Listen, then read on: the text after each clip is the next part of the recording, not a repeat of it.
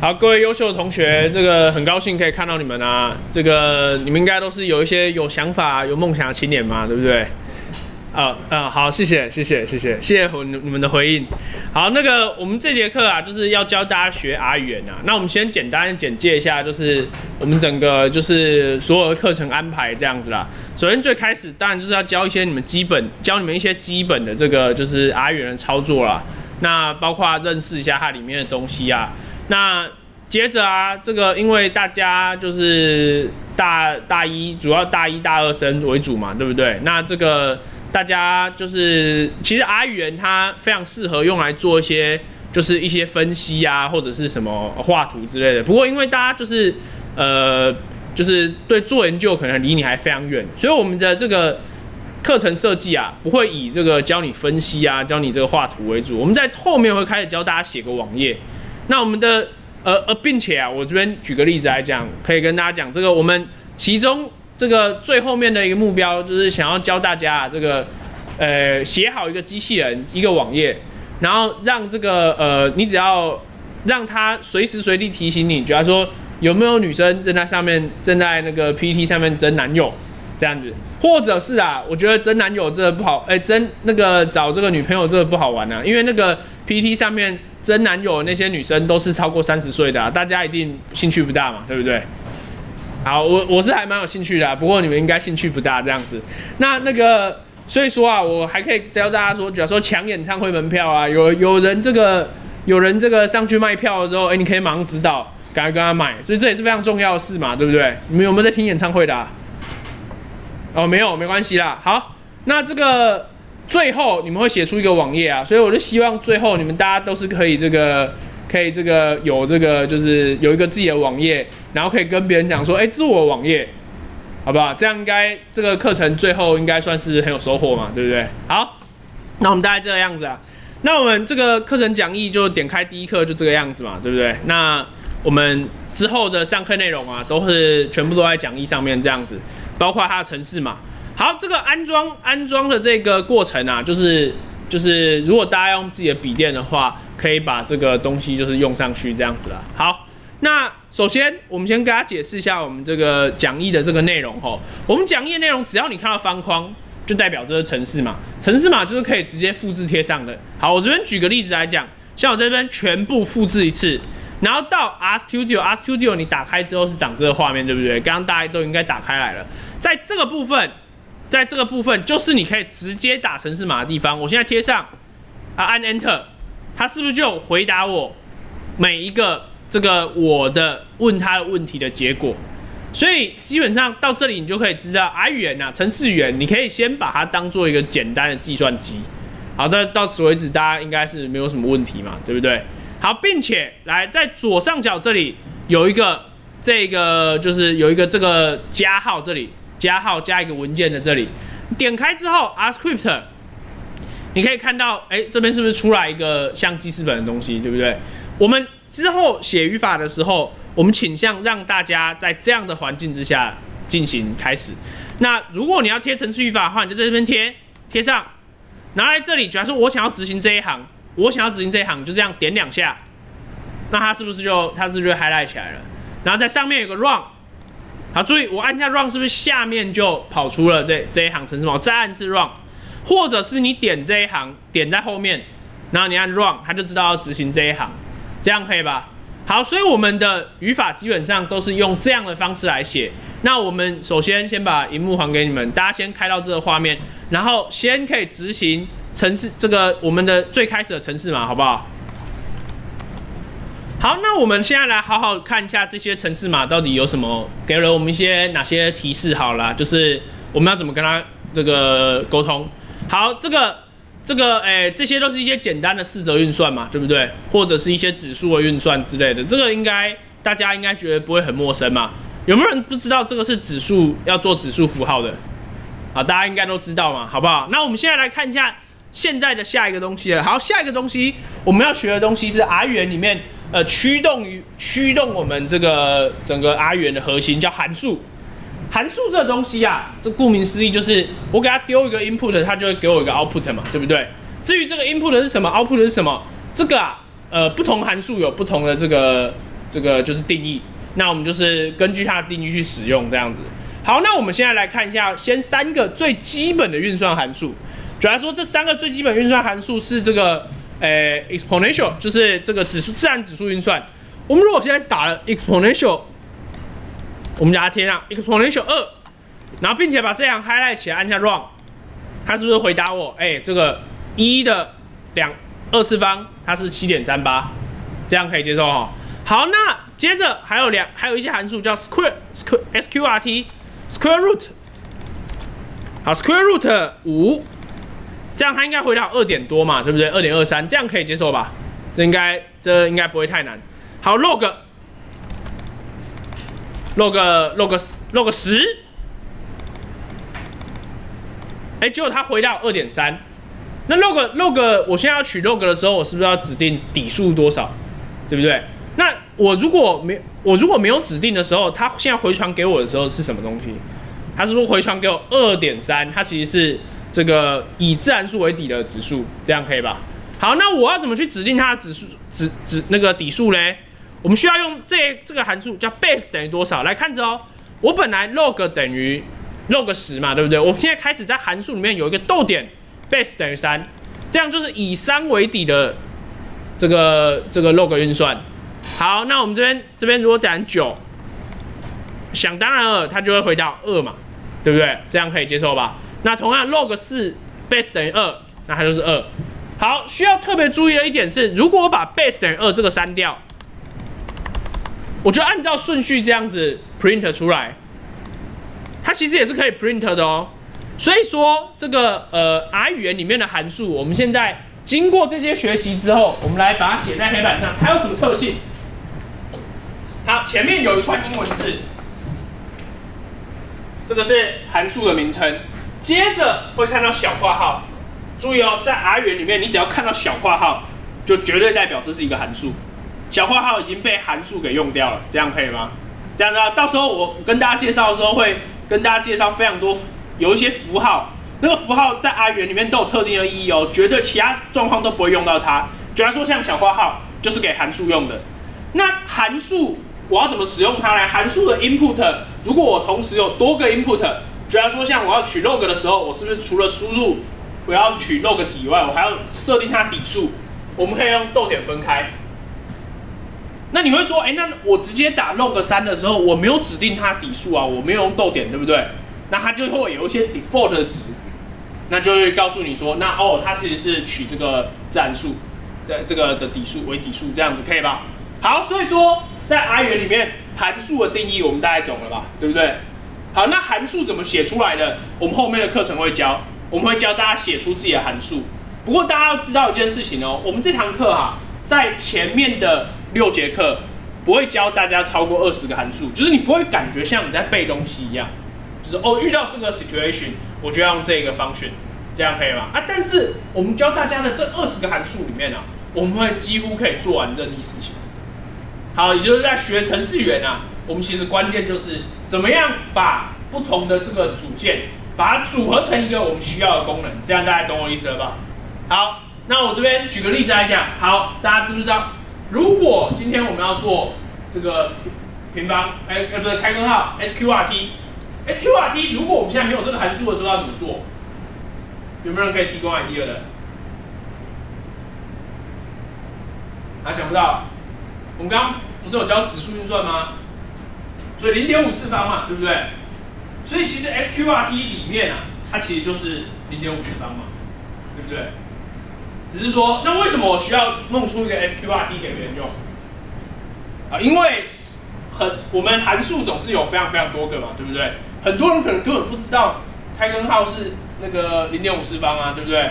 所以说他可能就会用这个 sqrt，这个他可能就会去 Google，那他找到这 sqrt 这个函数这样子啊。好，大家不要觉得不知道开根号是零点五次方，觉得很好笑，好不好？这个在我第一次在讲出这个想法之前。我不知道大家有多少人心中马上就能想到，哎，开根号其实我不需要函数嘛，用零点五次方就可以了。所以说大家还是会忘记啊，好不好？好，大概是这样子。好，那我们现在来继续看下面这个部分。好，那我们现在啊，这个最重要的东西来了，这个我们现在可以把它当计算机用，但是啊，呃，计算机还有记忆功能，对不对？R 语言的记忆功能在哪呢？来，我们来看这个这一行的程式嘛，意思是什么？来，注意哦，在这个 R 语言里面啊，我们刚刚已经讲了函数，函数它就是丢给它一个 input，然后它给我一个 output，对吧？这样可以接受吗？来，input，那它就会给一个 output。好，那这个等号，等号也是一个很特别的东西。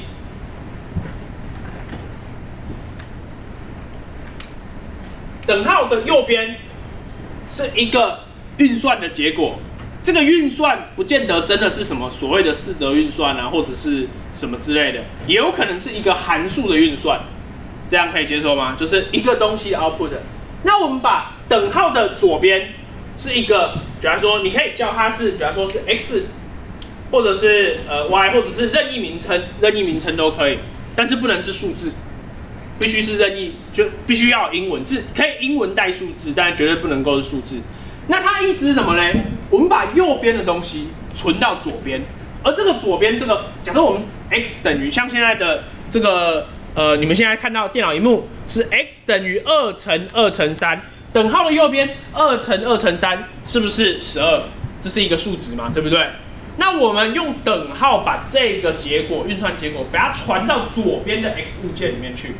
这样听得懂、看得懂这一行程式的意思吗？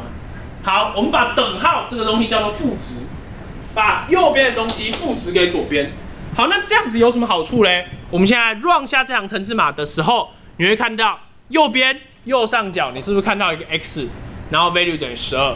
所以右上角就是在记录说，我们当下目前 R 语言里面总共有多少的物件存在。好，那现在 x 等于二乘二乘三。我们要怎么把 x 再叫回来呢？我们需要用到 print x 这个函数，print 又是一个函数哦。好，print x 十二，这样是不是我们就这个我们就知道 x 就是十二，这样可以吧？好，那当然，如果你不想打 print，你直接打 x，其实这样也是可以的，它也是出来十二，这样可以吗？print 这个函数可用可不用。这样知道吗？所以你反正你不打的时候，它就 default 认为你就是要用 print 嘛，这样可以哦。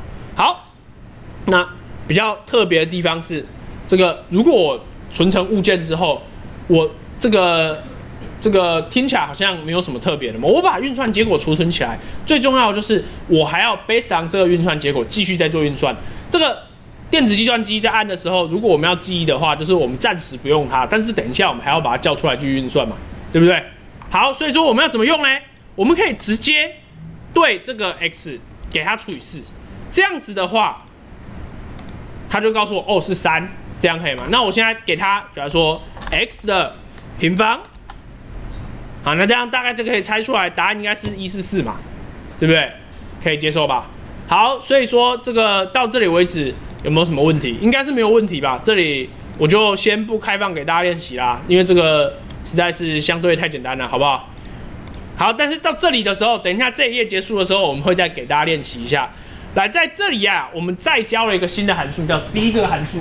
然后注意啊，这是我们第一个教到，我觉得比较重要的函数。这个函数，这个函数是我们的核心函数哦。核心函数的意思就是，我不是刚刚讲说，我们的前六节课不会教大家超过二十个函数。那前面刚刚我们教了 exponential、log。sqrt 这都不算核心函数，这一些函数用过之后忘记了就算，好不好？就是我们再也不需要用它了，这样子。哎，不是很后面很后面，也许我们还要再用它了，好不好？但是就是没有那么重要。Print 这函数是完全可以省略的嘛，对不对？我有没有打 print 意思都一样，所以说 print 不是核心函数。我们的第一个核心函数是 c 这个函数。好，c 这个函数的意思是什么呢？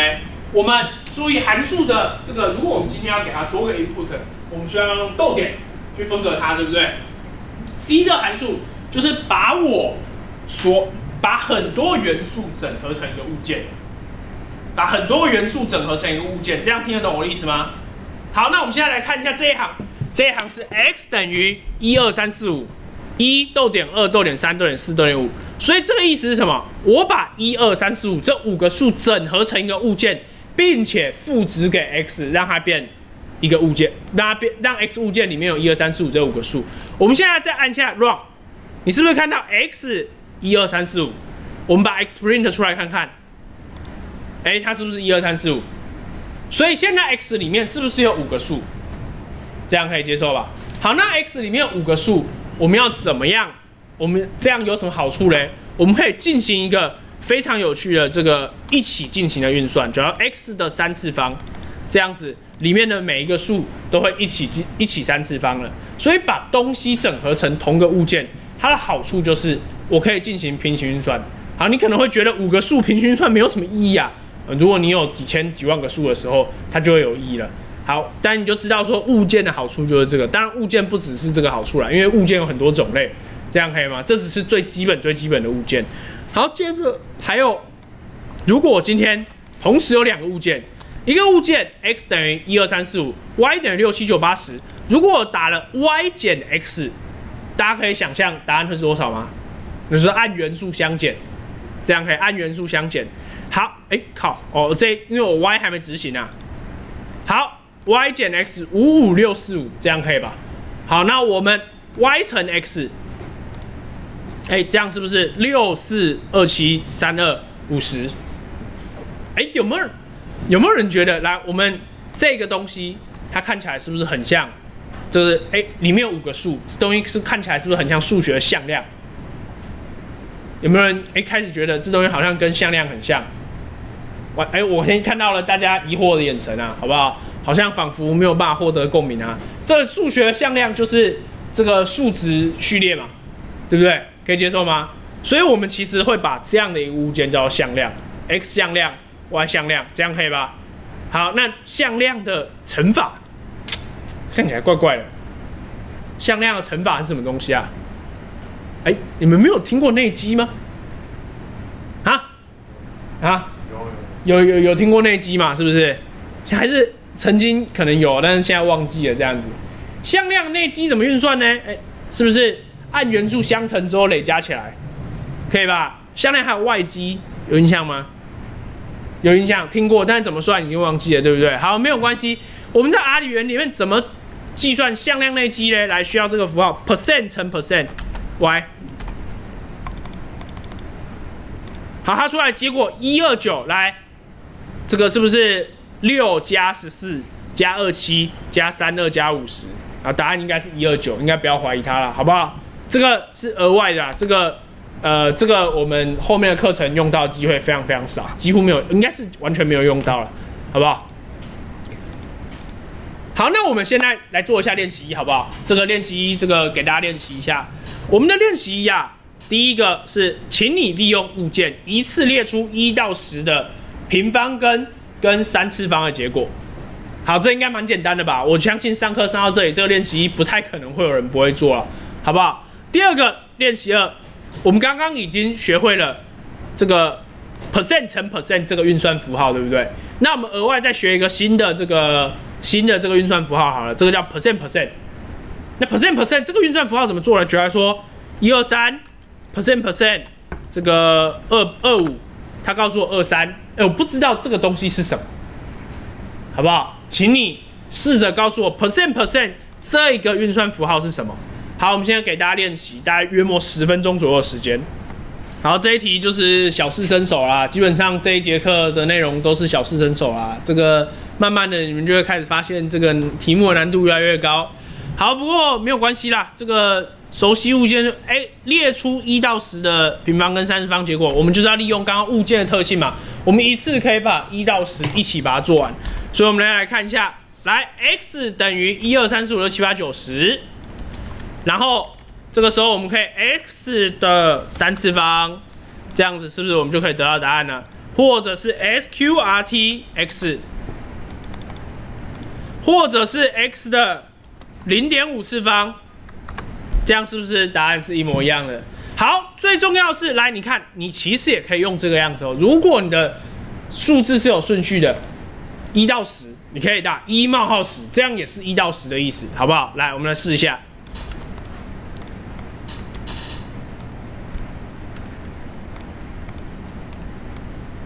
哎呀，这个 SQRT 我这边居然多打了一个负号啊！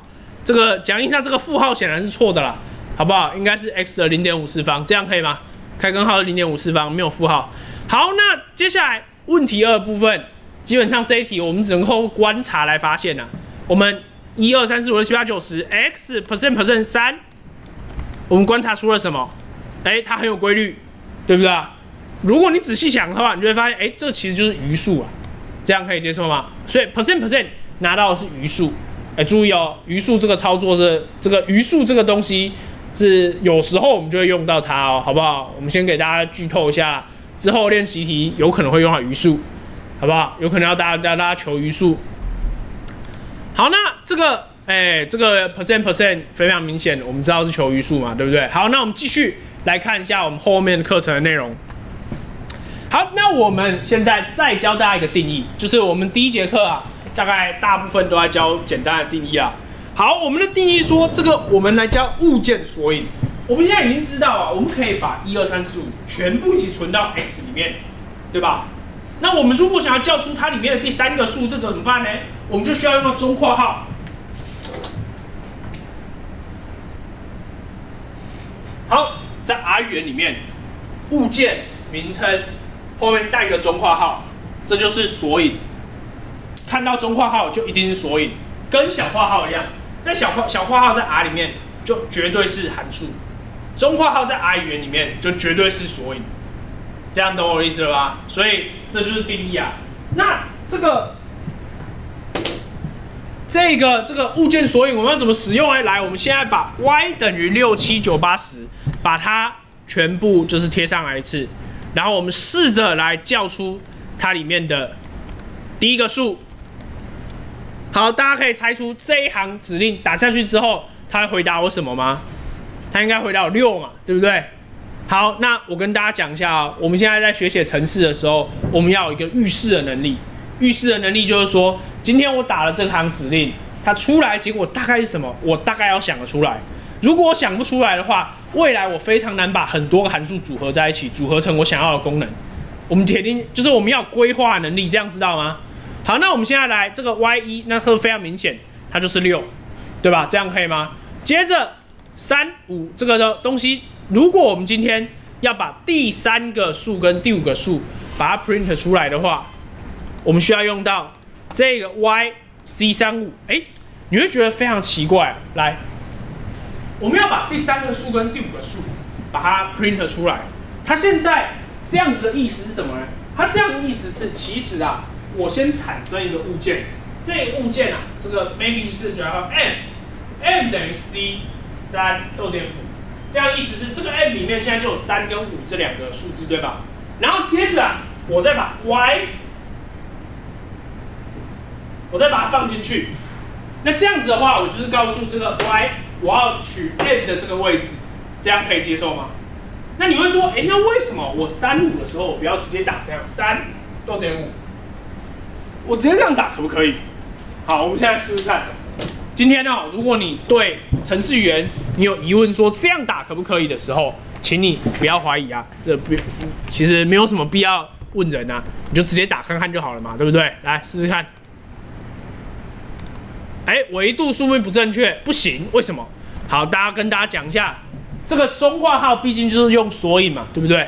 它是索引函数，就是中括号。那索引函所有索引都是用中括号哦。那这个物件它的格式，我们现在只有教向量嘛，对不对？某一天我们就会教到矩阵了，对吧？那教到矩阵的时候，矩阵我不就要指定它第几个 row 第几个 column 吗？我们就是用逗点去分割的。所以说啊，如果你打三逗点五，它会以为你要找一个矩阵的索引，并且第三个 row 第五个 column，所以不能这样打。所以我们一定要把我们储存的东西先把它放成就是物件，也就是先把它储存成一个物件，也就是用 c 这个函数把它结合起来。注意我们的核心函数又用到了，对不对？c 这个函数，这样可以吗？好，那把它这样子的话，我们就可以找出第三个数跟第五个数，它分别是九十。好，另外。请问一下，y 的第六个数是什么？哎，没有这个数，对不对？y 总共长度就只有五啊，怎么会有第六个数呢？所以我们现在按下 run 之后，它就会告诉我，哎，我不知道这是什么数。这样可以吗？好，来，非常这个这个我们来，我们来给大家看一个索引函数的一个特别的应用，就是啊，我们其实可以用复数索引来显示数字以外的结果，该数字以外的结果。好，我们来试一下哦。好，负一意思就是一不显示，剩下我都要。好，那负然后三五，这样意思就是三五不要，剩下我都要。你也可以把负号打在里面，负三，负五。好，这样也是六七八啊。我可不可以一个负三，一个五啊？不可以，这样可以吧？你要么就里面全部都负，要么就是里面全部都正，全部都正就是正面表列，全有负就是负面表列，这样可以吼。好，如果今天你的这个物件里面啊，这个比方说你想要把某一个值把它赋值到那个物件里面的某一个位置，你可以用索引函数用这样子的用法，比方说 y 七等于三五，注意 y 刚刚是不是六七九八十？它应该只有五个数字，而我们现在直接指定它第七个数字为三乘以五的时候。这个时候我们再看 y，你会发现，哎，它的长度变成七了。但是你有没有指定第六个数是什么？没有，所以我们还不知道它是什么，它是 n a，这样可以接受吗？好，如果那个位置原先就已经有内容了，它就会被强行覆盖掉。我们现在这边打 y 三等于一，就是强迫我这个东西变成负一嘛，对吧？所以我们现在在看是，哎，它这个数字是不是被我强迫改为负一了？好，最后我们再来教一个特殊的操作。我们可以在等号的右边，哎，x y 一二 y 一加二等于 y 三，y 四乘五等于 y 六。这样我们再看是 y，你会看到这个数是不是前两个数相加？这个数是不是前两个数相乘？这样可以吗？还有一个比较进阶的操作是这样子，y 六乘呃六乘六等于六好了。我们来看一下，再打这一行，它会出现什么？哎，八十乘八十，对吧？好，所以大家知道一件什么事嘞？在等号的右边，我们的当下的物件全部运算完之后，才会一起把值丢给左边。不然的话，y 六等于 y 六乘 y 六，这样子的话，那个会无限循环下去嘛？对不对？可以接受吗？所以在等号的右边会有一个暂存的状态，它会暂时锁住这个东西，然后把它全部运算完之后，再一起丢给左边。这样大家懂我的意思吧？好，懂的话，我们现在就要来这个，我们现在就要来做一个练习二。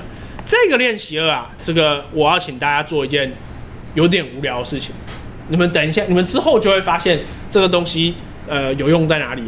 就是啊，我们现在已经可以会进行运用物件做索引运算，对不对？所以啊，我希望大家，哎，比如说，请你指定两个数字，起始值是两个数字。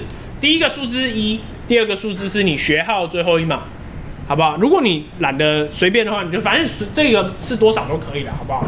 所以，请你先产生一个物件，这个物件有两个数字，第一个数字一，第二个数字是 x。好，接着第三个数字等于前两个数字相加，第四个数字等于前两个数字相乘，以此类推，遇到奇数就前两个数相加，遇到偶数就前两个数相乘，这样懂我意思吗？好，请你利用索引来做这件事情。当然，如果你可以发现的话，你可以发现索引里面我可以放物件，对不对？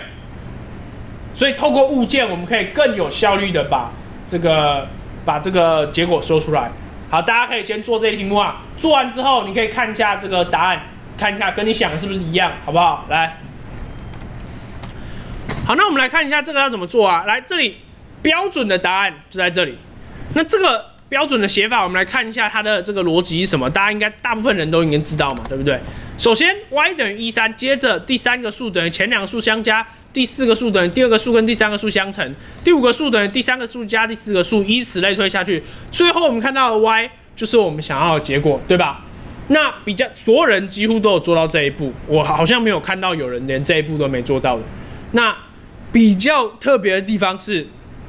哎，几乎没有人哎，我有看到两个啦，就是靠自己就想到类似于下面这种解法的。下面这种解法好处在哪里？好处在我其实复制贴上不用复制太多次嘛，对不对？来，我们现在这一行改到这一行，我们一开始只有写这一行的时候，我们要往下改的时候，是不是要复制贴上？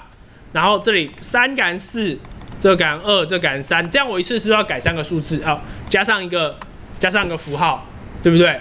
但是啊，透过物件，我们可以把这样的一个程式码，把它把它这样子复制下来之后，我们是不是一次只要改 i 等于二，然后把这个符号改掉？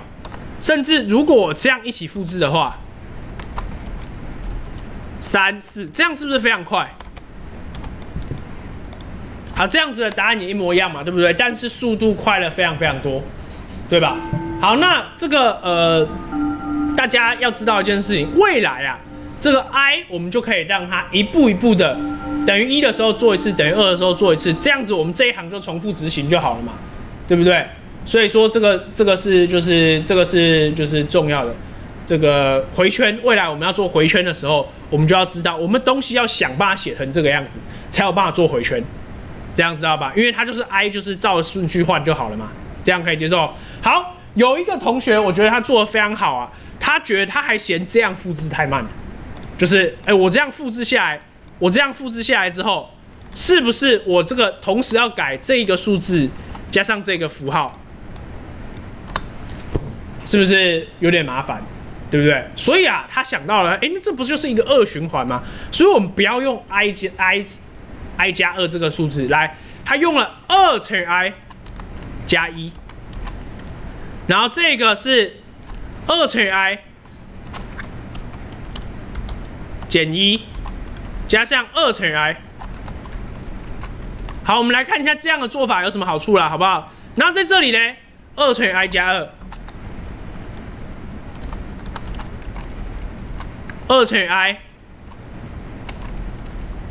二乘以 i 加一，好，这样子的做法有什么好处呢？来，我们来看一下，这样子是，我们再看一次 y，它的答案是一样的嘛，对不对？这样子的话，我是不是直接复制贴上，贴上二三？我们看一下我们的 y，它是不是完全按照我们的想法二循环？这样是不是要改的东西更少？对不对？好，这样可以了解吧？哎，这个是这个是一个不错的解法，我觉得我觉得非常好。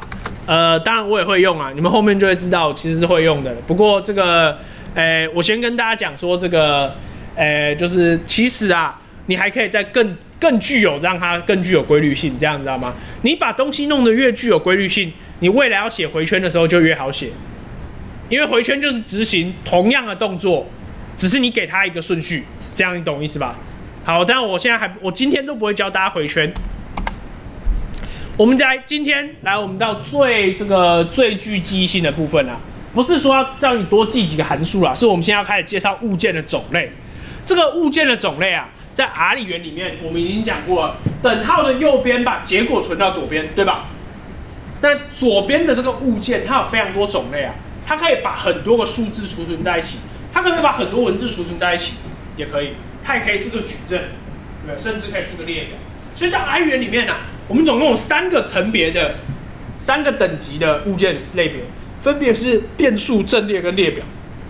变数就是我们可以把它想成向量，所以你看后面都是什么逻辑向量、整数向量、因子向量、数值向量、文字向量。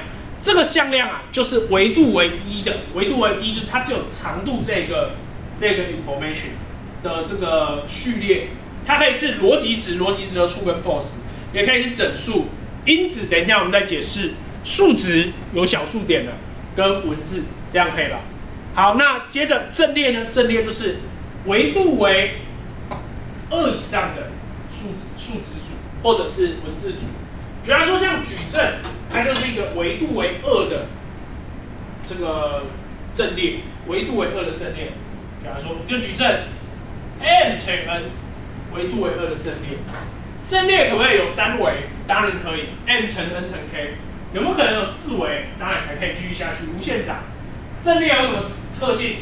如果今天是 m 乘 n 的矩阵的话，我的每一个 column 是不是都要等长？等长可以接受吧？如果今天 m 乘 n 乘 k，它是不是就必须方方正正的？我们可能允许说，假如说。哎，我们觉得我们先做矩阵好了。矩阵是不是可以允许有同时有两个等长的向量把它合在一起，它会成为一个 m 乘 n 的矩阵，二 m 乘二的矩阵，这样可以接受吗？如果三个等长的向量，我就可以再组合成一个 m 乘三的矩阵，对吧？那如果三个不等长的向量，我有没有可能组成组合成一个矩阵？啊，不可能，对不对？所以我有什么方？所以阵列有一个特性，它必须严格要求里面所有的东西。是一个方正或者是立体立方体，这样可以接受吗？但是有时候我们的数据就是不这么好看啊。我今天就是要想要把一个，我甚至想要把一个五乘四的矩阵，它一个长度为三的向量合在一起，这时候怎么合嘞？我们就只好使用一个东西叫列表。列表这个东西就是我列表里面的第一项是一个矩阵，列表里面的第二项是一个向量，这样可以吗？好，我在这里哈，我们会随着课程内容慢慢介绍后面的阵列层跟列表层的东西。我们这一节课只 focus 在变数层上面。好，变数层里面总共有五个东西，分别逻辑、整数、因子、数值、文字。我们现在来一个一个产生出来，来看看它的效果。来，我们现在要产生要产生一个向量的话，我们只会使用 c 这个函数，对不对？我们现在核心函数组还只有 c。对吧？好，我们来看一下要怎么用 c 这个函数来增加一些功能。好，再注意一下，我们现在又多出了两个核心函数组，一个核心函数组是 s 点叉叉叉，这个叉叉叉根据刚刚前面的不是有 logical 对吧？logical 是逻辑值，对不对？s s 点 logical，s 点 integer 就是整数，s 点 numeric 就是这个数值，对吧？然后 s 点这个呃可能还有一些其他的。那现在我们来看一下，还有一个核心函数组是 class，class 这个函数啊是问 r 元，s 点叉叉叉，class，class 是问 r 元说我们当前的这个向量它的这个属性是什么？好，当然它 class 这个函数不只可以用在向量，还可以用在阵列上面。好，class 就是问当下这个物件的属性是什么？好，我们现在来看一下。A 等于 c，true false true false。那我现在问他 class A，想当然尔，它是一个逻辑向量，对吧？可以接受吗？我们先按一下 Run，他告诉我 logical，可以接受吧？好，OK。那我们现在再来复制贴上一下。好，大家觉得 b 等于 c，一二三四五，我现在 class B，大家觉得他应该回答我什么？好，它我们来看一下，哎，它回到 numeric，不是回到 integer，对不对？为什么？啊，原因很简单嘛。这个，请问一下，一二三四五，它可不可以表达成一点零、二点零、三点零、四点零、五点零？可以嘛，对不对？所以说，它如果想要不犯错的话，它是不是呃回答 numeric 绝对是没有什么问题，对吧？可以接受吗？好，当然啦，这个其实有牵涉到一些记忆体的问题。啊，这个我们如果我们等一下，我们等一下再好好解释一下什么叫记忆体的问题。我们现在啊，先来强迫一下，如果今天想要把 b 这个向量改成整数，有没有办法？哎，我们刚刚不是叫 s 点叉叉嘛，对不对？所以我们叫 s s 点 integer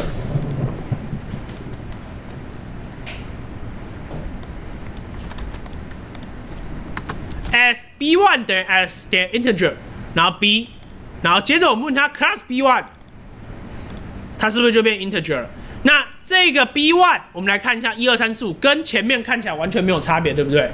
好，它的差别在这里，我跟大家讲一下，就是我们的电脑，这个可能就是这个很基本的这个计算机的这个原理啊，电脑的原理，大家应该都知道，电脑在储存东西的时候是用二进位的零一零一零一去储存，对吧？这边有没有人不知道的？应该都知道吧？大家看什么电影啊？如果要表达这个骇客非常厉害的时候，就会电脑荧幕出现一堆零一零一嘛，对不对？但你们写程式的时候发现一件什么事？我们现在就在写程式啊，没有人这样零一零一写的，靠零一零一你哪看得懂那是什么？对不对？主要不是我看不懂啊，是我为了要我们比较习惯二进位还是十进位啊？我们当然习惯十进位啊，那我们当然喜欢在十进位的环境之下打打打语法嘛，对不对？好，来。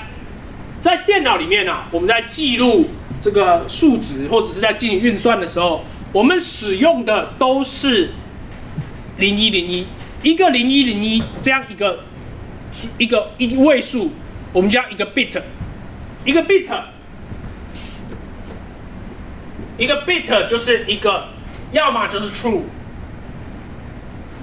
要么就是 false。好，这样可以接受吗？一个 bit 就是要么就是 true，要么就是 false。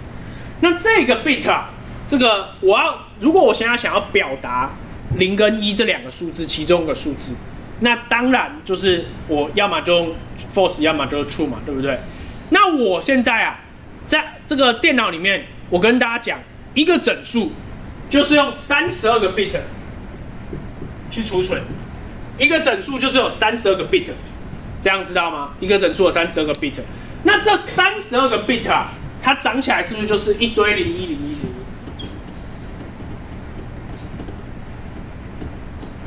好的，这样子三十一个零一零一零一。如果它它用三十二个 bit 去描述一个整数，所以它的总组合数，它能够出现的整数数值的种种类，是不是就只有二的三十二次方个？可以接受吗？不可能有更多了嘛，对不对？好，所以说啊，其实电脑能够显示的整数的范围，最多只有到二的三十一次方到负的二三十一次方之间，这样可以接受吗？知道我在讲什么吗？我们能够显示的电脑能够显示的整数范围，其实只有这样子哦，这样知道吧？电脑，我们大家几乎都知道，电脑能够储存的东西叫近似值。不是不是这个不是这个，如果我们存小数点，绝对会存近似值嘛，对吧？好，那如果是整 numeric numeric 它的储存格式是六十四个 bit，而它整数的部分交给上面前面那三十个 bit 去存，后面小数的部分交给就是去表后面三十个 bit 去描述它的小数位数，所以说这样你就知道了。我们的小数位数最多最多最精细的程度，也只能够以二的三十二次方分之一为单位，它必须以这个为近似值来去做这个处理，这样知道吗？当然，对于我们大部分数值的运算来讲，这样的精细度已经足够了。二的三十一次，二的三十二次方分之一哦，这样可以接受吗？好，如果你知道这件事之后啊，我们来看一下这个呃。我们现在这个呃，你就知道为什么 integer 跟这个 numeric 它在 R 语言里面是两种物件。那它一开始储存成这个 numeric，它其实浪费的空间就是 integer 的两倍。好，你现在只有五个数字，你一点感觉都不会有了，好不好？那你可以想象，你只有五个数字，你花掉了，其实就算你用六十四，你花掉了只有五乘以六十四个 bit。大家知道 bit 这个单位是什么吗？来，大家去那个用电脑，一个 file 最小最小的单位是不是？你还会看到什么？那个看到什么 KB，对吧？MB，你们有看过这个单位吧？KB、MB、GB、TB 之类的。来，一个 bit，KB 是什么意思？听起来就是一千个 B 嘛，对不对？那你们猜那个 B 是不是就是 bit？哎，不是，那 B 是什么？来，你知道是什么吗？你怎么会知道？那那个 B 是什么？好，那个 B 是 byte，对你那个 B 是 byte，对吧？哎，哦，你知道 B 不是 bit 是 byte，那你知道 byte 是什么吗？好，K byte，byte 是八个 bit，byte 是八个 bit。啊，机很少东西是用一个 bit 来储存的，这样懂我意思了吗？所以至少通常都是八个，这好歹也要有八个 bit 啊，对吧？这样的，一个八个 bit 等于一个 byte。那接着一 KB 你们也觉得是一个非常小的档案嘛，对不对？一般来讲，呃，一 MB 大概也没什么了不起嘛，对不对？这个 KB 就是一千个一零二四个 byte，对啊，那在一零二四个 KB 就是一 MB，对吧？在一零二四个 MB 就是一 GB，在一零二四个 GB 就是一 TB，以此类推下去，之后还有 PB 啊之类有的没的。好，不过接触到 TB 就很夸张了，好不好？各位各位这个呃各位这个的电脑通常也不太可能有超过十 TB 的硬盘，对不对？干嘛？你干嘛笑的那么奇怪？你有放什么东西要放超过十 TB？你告诉我。四 TB。四 TB 而已。四 TB，好吧？哎，你们知不知道那个学校有那个 Gmail 无线那个无线空间的信箱？你们都知道，一年级的知道啊？还不知道？那个应该有学号就可以进去了。一年级还没有开，是不是？有无线空间的 Gmail 信箱啊？好不好？鼓励大家使用啊！这个也是我们努力争取来的。这个，哎，好，这个大概这我先只是稍微带到一些计算机的基本原理啦，这样你就比较能够理解说为什么它的程序员这样设计的。好，那这样子的话，当你了解这件事之后，我们再来看一个案例：c 等于 c 等于零点七负零点九一点二负二点一。三点七，所以我就不问他的 class 啊，他 class 绝对是 numeric 嘛，对不对？好，我现在强迫它变成整数 as integer c one，它出来的结果是零零一负二三，哎，效果是什么？好像不是无条件舍去，也不是四舍五入，是直接把小数点去掉，对不对？好，再想想我刚刚讲话，整数怎么存的？三十二个 bit，小数怎么存？呃，numeric 怎么存？六四个 bit，所以它其实就直接把后面的三十二个 bit 给去掉了。这样懂我的意思了吗？这样就可以了解说这个计算机的原理跟我们的程式语言就稍微有一点结合了。这样知道吧？我们基本上就是上课的过程中，如果有接触到原理，我们就会跟大家讲原理。这样知道吧？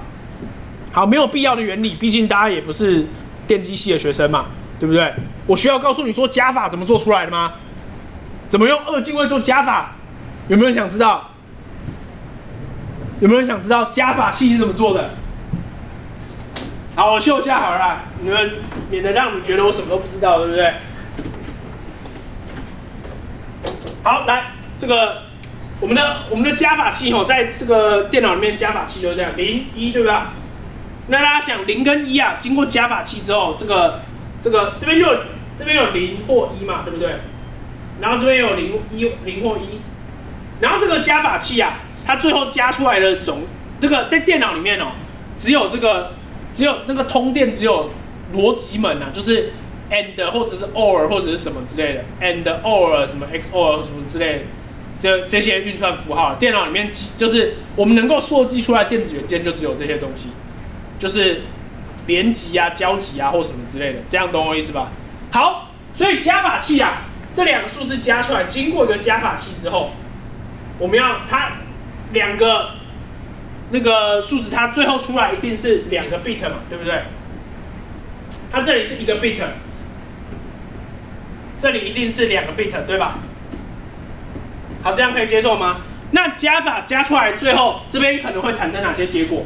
它们会产生零零零一一零，这个对应到二进位数就是十进位数就是零一二，这样可以吗？可以接受吗？可以哈。看得懂我在说什么哦？那在这里什么时候会变成零零？输入零零的时候就会出现零零，对不对？出现输入零一或是一零的时候就会出出现零一，对吧？可以接受吗？那出现一输入一的时候，它就会出现一零，对吧？我现在把一零这样写下来，零零零一一，好，这样子这样的对照表可以看得懂吧？这样可以接受吧？所以，我们其实怎么当初怎么设计电脑的嘞？这个，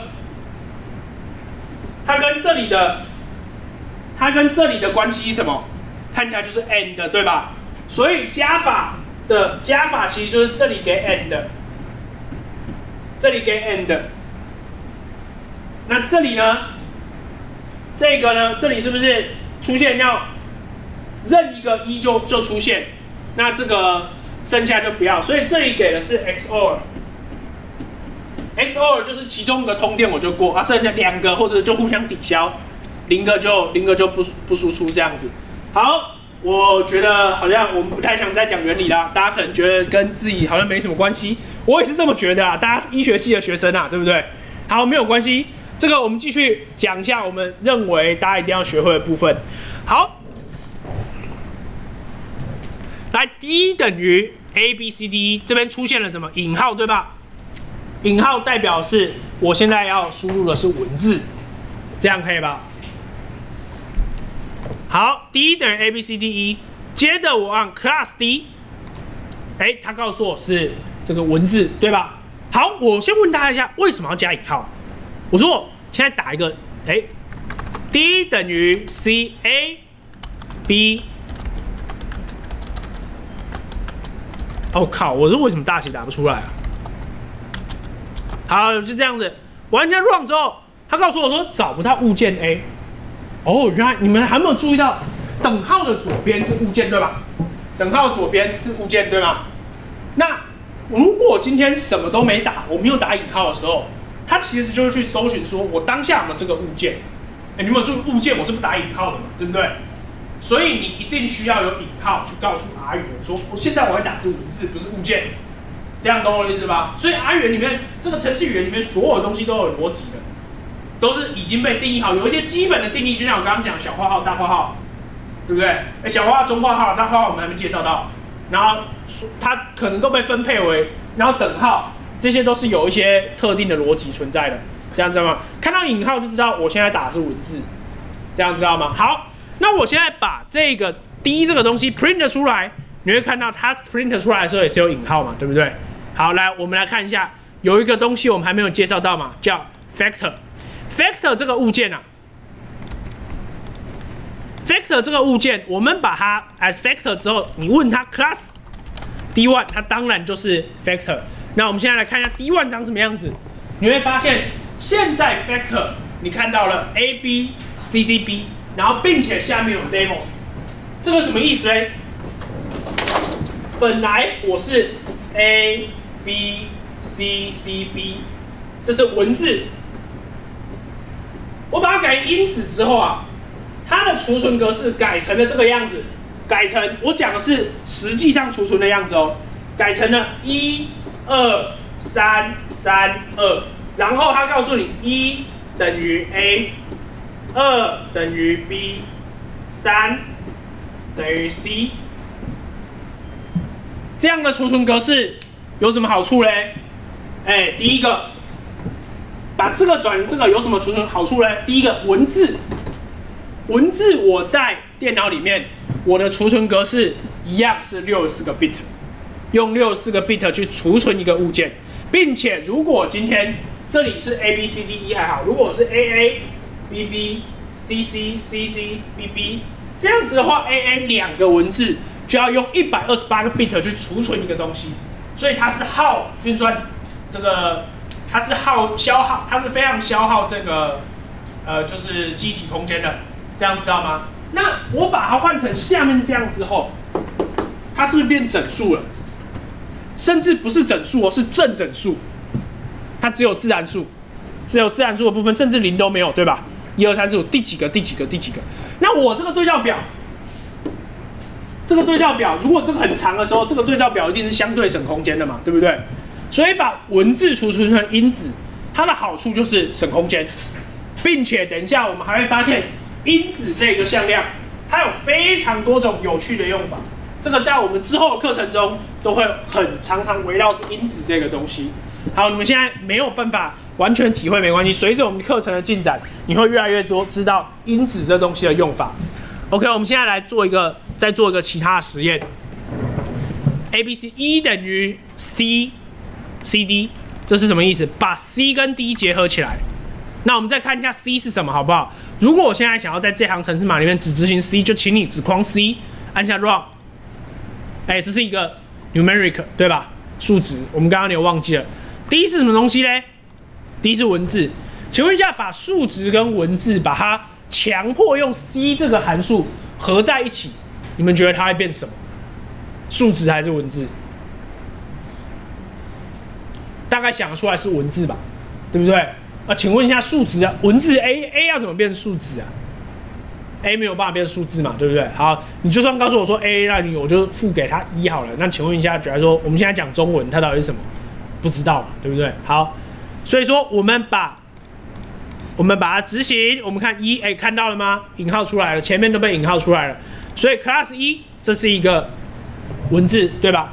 把不同属性的物件结合在一起，i 语言会自动去认为说什么东西会比较合适一点，这样知道吧？好，那接着，e one 等于 c one 跟 d one 结合在一起，e one 是什么？c one 是什么呢？整数对吧？c one 整数，d one 是什么？因子。大家猜，把它结合到一起之后会成为什么？会成为因子还是整数？好，答案是会成为整数。为什么嘞？因为这个 vector 它是不是自然数？自然数在整数里面嘛，对不对？所以它会变成整数。你会说，哎，那它的这个它的这个对照表是不是就消失了？哎，我们刚刚在打 factor 的时候，它下面是不是有个 levels 什么东西，对不对？它的 levels 是不是消失了？没有错，就是消失了。那这个没有办法，好不好？我们这种莫名把两个不同物质、不同属性的东西合并在一起，这属于非常规操作，平常几乎不可能会用到。这样可以哦。好，那我们接着再来稍微介绍一下因子的用法。好，我们再来教两个核心函数。哎哎，两个核心函数。第一个核心函数是。我们现在已经教三个核心函数了，接下来还有什么核心函数嘞？第一个是呃 length，length 这个函数啊，是问说当下的物件长度是多少？当下物件长度是多少？这样可以吧？好，还有另外一个特别的函数，这个函数叫 levels，levels 这个函数专门是否因子。哎，注意，刚刚我们不是说啊？我们的因子函因子物件是不是有个属性叫对照表？我们要怎么把那对照表抓出来？就需要用到 levels 这个函数，这样知道吧？那我们就可以把它对照表给弄出来。那这个这两个东西有什么重要的呢？我们现在来产生一个因子给大家看一下。现在这个 d 等于 a b c d a b c c b，我们问它 class b。class D 它就是文字嘛，然后接着它变成因子之后呢，我们首先先问它的长度为多少，我们把它的长度储存到 n 这个物件里面，接着我们问它 n，它就会告诉我五嘛，对不对？好，接着我们来看一下 categories 等于 levels d one，这样我们来看看它的输出长什么样子，它输出是 a b c，我是不是把我因子物件里面的对照表给抓出来了？可以接受吗？好，有趣的是，哎，这个东西是什么？这个东西是一个文字向量，对吧？文字向量，请问一下，文字向量，我是不是又可以问它的长度啊？好像可以，对不对？所以说，如果我先打 levels，再打 length，我得到的这个三，这是什么意思？原始的因子物件里面总共有三个类别，总共有三种东西。对吧？这是不是一个函数的组合？这是我们第一次接触到函数的组合，然后给我们不同的意义，这样知道吧？可以接受吗？当然，你也可以把这样子的一个东西，注意这个 categories 它在这里是不是告诉我说它等于 levels d one，对吧？我们可以把 levels d one 把它直接贴到这里来，这样子就是函数里面的函数，就是先执行最里面的函数。再把它放到外面的函数，把它 input 进去。现在我们的 n categories 就是一样，答案是三，这样可以吗？好，这样应该可以接受吧？好，我这边定义讲的差不多喽，大家开始要，大家开始要面对挑战了哦。来，练习三，练习三真的没有那么简单，大家可以试试看。前面这两个题目应该就是牛刀小试了。这串数列总共有几个数字？请你直接把这串数列复制贴上。到阿元里面，然后直接用程式码进行操作哦，好不好？哎，你不要一个一个给我数哦，好不好？可以吧？我们用这么多，我故意打这么多，就是要让你们没办法数嘛，对不对？请你用程式员回答我的三个问题。第一个，这串数列共有几个数字？第二个，共有几种数字在这个物件里？第三题，大家可以好好想一想，第三题不容易。第三题是。这个数列中缺少了一到二十的哪些数字？好，这些题目做完了。第三题你可以不用看解答就做出来，你就可以直接下课了，好不好？我们就到这里，给大家十分钟的时间，然后我们来看一下。好，希望这个我们的练习题准备的还可以啦。这个小小的挫折不要击垮大家啦，好不好？那大家这个，我们首先啊，这串数字总共有几个数字嘞？这非常简单嘛，就是我们之前教这个 lens 这个函数，就是拿来回答我们这一串数字总长度为多少的嘛。所以这个你只要把核心函数组记起来的话，你一定是不可能会忘记，不可能会就是不知道这一题要怎么回答的。那接下来下一个，总共有几个数字？那这个我们就要好好利用因子物件的巧妙之处，也就是我们可以先把它变成 factor 之后。它就变成有一个对照表了嘛，对不对？再把它的对照表拿出来，再看看它的对照表长度为多少。所以一个连续三个函数的组合就可以回答我们刚刚这个问题。总共有十六个数。好，最后一个问题，问题三不容易想到哦。看着我的答案，跟着我的思路一起想。来，在我们开始看程式码之前，我们先想这一题要怎么做。就算我们已经看过答案，我们还是稍微想一下。我们现在已知总共有一到二十，总共二十个数，对不对？然后我们可以拿到什么？我们根据刚刚给前面两题的引导，我们应该知道一件事，其实我们是可以拿到对照表，对不对？对照表，所有人，我几乎看到所有人都拿到那个对照表，对不对？这个 levels，levels 这个 x，它等于好，就是它可能就是有这个，比方说一、二。五好，我们现在假设这边都只有五个数好了，一到五好不好？这边总共啊，它就只有一二五，那我们当然知道漏掉三跟四啊，对不对？可是我们哎，我们来注意一下，这个是一引号，对不对？好，那我们现在是怎么看？我现在有一二五，但是我要看到三跟四，我要看到三跟四嘛。我们现在目标是看到三跟四，对不对？我们要怎么看到三跟四？来，这个时候我们就想到，哎。我们刚刚不是有教索引函数吗？对不对？我们有教索引函数。那我们想要不显示一二五，看三跟四，是不是可以利用负的索引？负的索引对吧？负的索引。所以如果我们把这个东西变成一个东西叫 y，那 y，然后利用负索引，负索引是不是我就可以找到？我把负面表列弄完之后，剩下是不是就是我要的？所以我们是不是可以负 i d x？这个 i d x 是不是就是要一二五？就是这个东西，但是这是文字嘛，对不对？所以我们需要有一个 i d x as integer level x。这样子的话，我们是不是答案就会出来？这样懂我意思吗？听懂？跟着我我的思路哦，再想一次哦，好不好？我们现在先不要看我的城市码，虽然我这边城市码，我想那个城市码也是后面的注解是非常详细的。再讲一次，我现在拿到 levels x，这个是绝对毫无问题的，所有人都拿到了，对吧？那接着呢，我现在想要把它少了什么，它没有什么找出来，它没有什么这件事情，你马上要联想到，我今天教了什么东西是负面表列的，没有是负面表列，所以负号。索引符号，索引符号，OK 吗？OK，好，那我们要负面表列索引，那我们就要把索引外面那个东西先写出来。总共的范围有哪些？值有哪些？先列出来。y 等于一到五，这样可以吧？好，接着我用索引，我可不可以直接用负号？不行，因为它现在是文字，它现在是文字，对吧？所以我需要把它转成整数，我才有办法用。这样可以吗？所以如果你顺着这个思路好好想话，你就会发现这题是有解。这样懂我意思吗？而且完全我没有用到今天教的以外的东西，对吧？所以你刚刚看到这个厉害的地方了吧？我今天教了函数少少的，核心函数组五个，对吧？加上索引，就这样子。然后我们现在做出来的东西就非常特别了，对不对？在之后的课程里，我们的练习题基本上都会采取大概。可能每一两都会有一些简单搭配困难的，对不对？困难的大概一定都做出来，你可以看答案。但是我们一定会用前面教过的东西把它组合出来。我们就是要训练你组合的能力，这样子啊。好，到这边大家有问题？这个课基本上就是今天的课到这里了，好不好？